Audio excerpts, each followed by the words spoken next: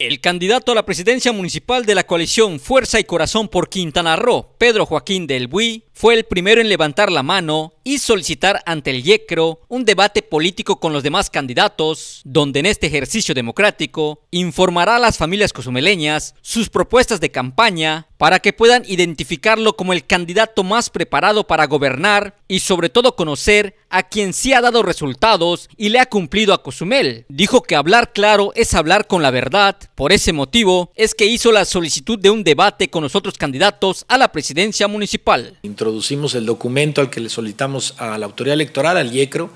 que eh, pues se lleve a cabo eh, este debate que, en administraciones, perdón, en elecciones pasadas se ha llevado a cabo.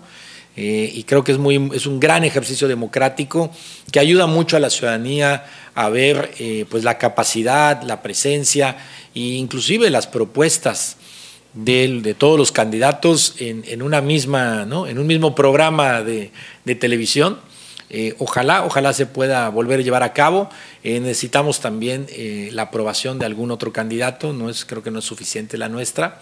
Pero bueno, nosotros fuimos los primeros en levantar la mano y pedir que este debate se lleve a cabo. Aseguró que en la primera semana de campaña se ha notado la diferencia y dijo tener la preferencia de la gente que tiene la esperanza de poder cambiar y mejorar la seguridad en la isla debido a que la comunidad se encuentra sumergida en una crisis de inseguridad. Se ha visto la diferencia, creo que se ha visto la diferencia, creo que eh, se ve que eh, la esperanza está del lado nuestro, está del lado de esta alianza llamada Fuerza y Corazón por Quintana Roo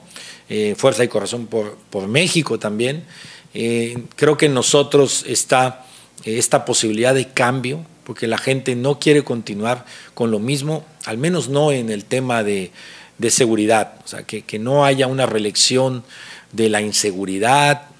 de la corrupción y de, y de un mal gobierno que desafortunadamente